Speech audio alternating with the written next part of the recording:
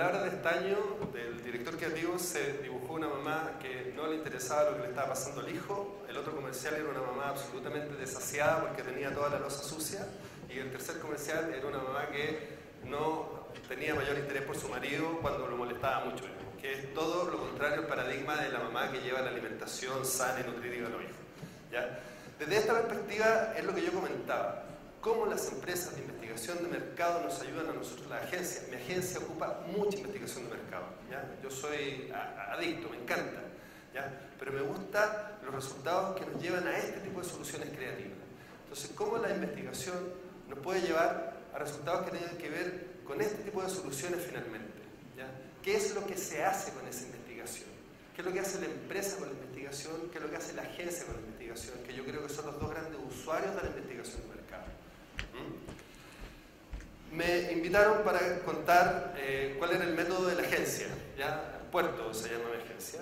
Y lo que nosotros podemos definir aquí es la reactivación del capital humano, ¿ya? Cómo el humano interpreta y lee lo que la máquina entrega. El método consiste de tres pilares fundamentales. Primero, lo que tiene que ver con el espíritu, porque hay que tener un sentido. Segundo, el proceso, ¿cierto? Hay que tener una forma de hacer. Y tercero, la emoción. Porque nada vence la emoción. Lo que acabamos de ver racionalmente puede describirse como una mamá que no le interesa a su hijo, pero en realidad nos damos cuenta que es otra cosa, y es una cosa que sentimos.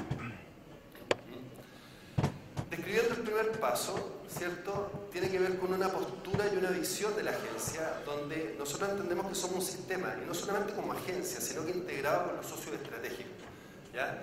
Eh, yo trabajo muchas empresas de investigación de mercado y de verdad que tenemos una relación muy, muy estratégica cuando ellos permiten, permiten que yo entre un poco más en el trabajo que ellos hacen, ¿cierto? Por lo tanto, la agencia en su sistema es un sistema de constante innovación en una lógica donde nunca hay tiempo. ¿ya? Entonces, ¿cuál es el desafío que nosotros tenemos todo el rato para sacar este tipo de resultados creativos? Primero, aprender. Y como decía Maturana, esto no son palabras de la agencia ni mucho menos, esto es de alguien superior, digamos. ¿ya? Los sistemas vivos tienen la capacidad para leer el entorno, sobrevivir y desarrollarse. Pero lo más importante es desaprender. El proceso creativo implica desaprender. Implica desaprender el cómo yo entiendo el dato y cómo entiendo la información, cómo la puedo resignificar. Y ahí está el desafío. Cómo desde la investigación y lo que nosotros aportamos somos más rápidos y mejores que lo que se le puede ocurrir a un creativo porque sí. ¿Mm? Y el desaprender tiene que ver con, esa, con el reflexionar que invita a mirar dónde estamos, a mirarse a sí mismo, y para eso se tiene que soltar la certidumbre, el saber o el creer saber, ¿cierto? Y soltar el ego. Desde esa perspectiva desaprendemos. Luego nos metemos al proceso, y el proceso es muy simple, se llama la mesa. Todo pasa en esa mesa que estaba en la foto. ¿Y qué es lo que pasa ahí? Primero, parte con un input de información digerida. El trabajo publicitario parte con lo que ustedes como empresa de investigación nos pasan. Para nosotros es tremendamente valioso. Entonces, cuando la información es solo descriptiva y detrás no está lo multidisciplinario, no está el sociólogo que hizo la investigación o el psicólogo que hizo la investigación con lo que él lee o interpreta, aunque sea interpretativo, eso es lo que uno busca en tanto agencia, no sé qué pasará con otro, ¿cierto? aunque sea interpretativo necesitamos Participamos en el proceso de investigación. Yo miro las pautas con, la empresa de investigación, sugiero cosas, ¿cierto? Me meto en el tema. Hay seniority. En la agencia siempre están los directores tomando las decisiones con el equipo de trabajo en cuestión, pero siempre son las cabezas mayores las que están pensando. Tercero, con resultados abundantes. Cuando entramos en el proceso creativo a partir de esa información que define un brief, lo que se pide de vuelta a los equipos creativos es muchas ideas, cantidad. Ni siquiera calidad, cantidad. Trae muchas ideas. Después hay un proceso eh, que decanta. Vamos eligiendo puntas y no guiones. ¿Por qué? Porque la idea tiene que vivir en ambientes, en distintos ambientes. No está pensado en un medio. Una buena idea deja ver inmediatamente los espacios en que se puede desarrollar. Que después son espacios a estudiar en las post-evaluaciones. Y obviamente hasta que se elige, se y se blinda la idea desde la estrategia. Y en ese blindaje aparece la información inicial también como método y como, como activo, ¿cierto? sin discusión, para blindar esa propuesta que finalmente hace la agencia. Ahora, ¿cómo reconocemos que lo que tenemos es bueno? Porque la idea es la estrategia. No confundir con planificación estratégica. Eso es otra cosa. ¿ya? La estrategia es una idea. Ensuciarse bien, eso es la estrategia. Punto. Todo el resto es planificación estratégica. La idea no debe ser grande, debe ser profunda. Hablamos de deep idea. Deep, eh, perdón, deep idea, no big idea. Y la idea es profunda, que conecten y que se hagan parte de la cultura. Y cuando nosotros le metemos emoción como tercer, como tercer elemento de trabajo de la agencia, hablamos de bullying. Nosotros somos terribles, hacemos bullying sistemáticamente porque se genera ansiedad, porque se genera caos, porque se genera risa, porque hay tensión, porque hay desapego, tiene que ver con el proceso de desaprender, ¿cierto? Y porque aparece la verdad y porque la verdad es lo que finalmente nos lleva a mostrar cosas como la que se mostró en el comercial de Mamá Luguera.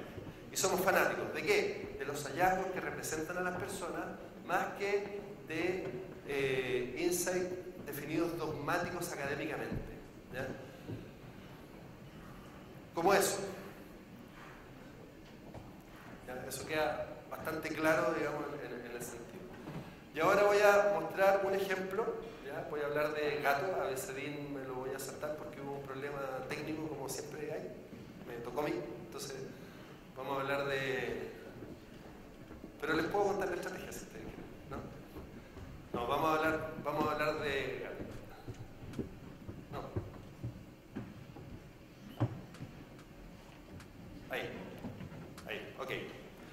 ¿Cuál es el capital descubierto en gato? Por ejemplo, y traje esto porque traía Becerrín porque fue oro en categoría comercio en EFI y traje gato porque fue plata en em, éxito sostenido en los EFI también. ¿Ya? ¿Cuál es el capital descubierto en gato? Primero que el vino ¿ya? representa la cultura tradicional chilena. Es el vino que representa la cultura tradicional chilena. Si yo me quedo con eso como información, porque eso fue sacado de los estudios, la lógica es que yo ponga empanadas, ramadas, caballos, guasos, es lo primero en lo que uno puede pensar. Pero ¿cuál es la idea? ¿Y cuál fue la lógica de la idea? Primero que gato es vino, el vino es chileno. Gato es el vino de la tradición de los chilenos y con el vino se festeja. Por lo tanto, el tema es resignificar esa tradición chilena y lo que nosotros proponemos es que Gato festeja esas cosas que son solo nuestras y que hace que los chilenos seamos iguales. Entonces nos salimos del paradigma de la tradición chilena como habitualmente se lee y nos metimos en una lógica de eh, el planteamiento estratégico de Gato donde celebra eso, donde todos somos iguales. Y ahí aparece el tagline como Gato típico chileno. El 50% de la sala no es chileno, estos comerciales habitualmente generan mucha risa, no sé si lo van a entender del todo, ¿ya? Pero nada, para ver estos ejemplos. Vamos. Son varios porque éxitos sostenidos son. Hay cosas que son típicas chilenas. Típico de cuando chico todos fuimos rubios. ¡Lucio! Y también era ruso con los chicos. ¿En serio? ¿Cómo te lo explico? Era rubio, rubio, rubio. Y cuando llamamos al mozo, típico que nos complicamos. Porque empezamos con Moines, Rubio. ¡Ey! Joven, jefe, socio, maestro, maestro. Hay cosas que son típicas nuestras. Y hay un vino que es típico de Chile. Gato. Típico chileno. Otro. Hay cosas que son típicas chilenas. Típico de cuando chicos todos fuimos rubios. ¡Lucio! Está mal. Ahí, ahí, ahí sí. Típico chileno. Como si fuéramos una gran familia. Mira, creo que... Sí, adelante, suegra. Hermano. Hija, dime la hora, por favor. Sea bonita. Papá, mi pololo. La tío.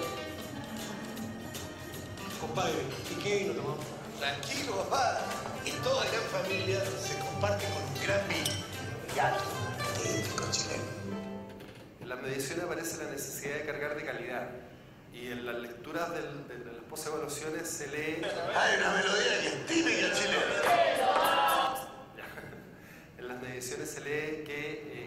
aparece eh, una situación en el, ex- en el extranjero, la percepción de calidad sube. Entonces, ¿qué hace la agencia? Pone más situaciones en el extranjero. Ahora, eso se llama... Típico que cuando estamos afuera nos agrandamos. Acá en Argentina, dos veces campeones del mundo. Tenemos a Diego, tenemos a Leo. Además, tenemos a La Pampa. Pero nosotros en Chile tenemos a la Pampita.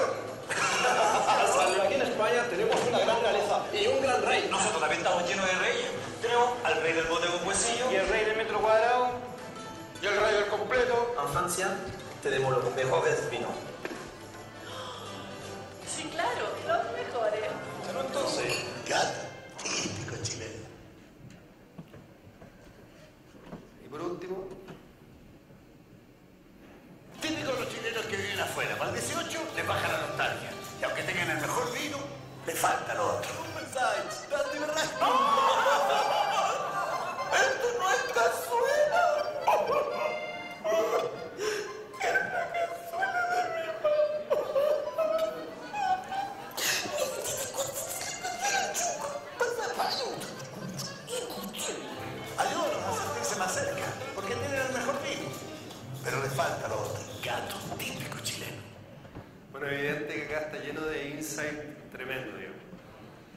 Ya para ir terminando, la tipa idea la referida al origen de la idea y a su capacidad de construir marca.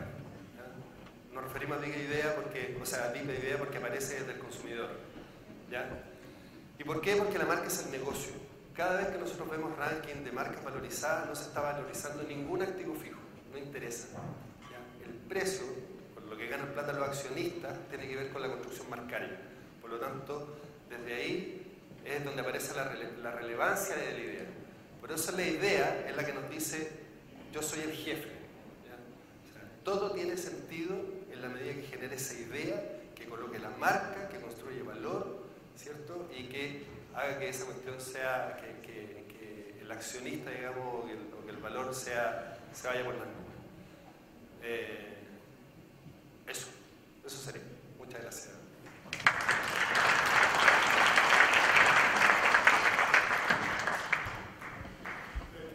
Any question?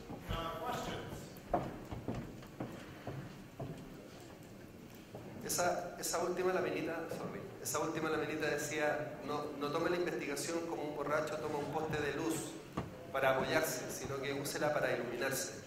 ¿ya? Es un mensaje para, para los clientes fundamentalmente. So no questions.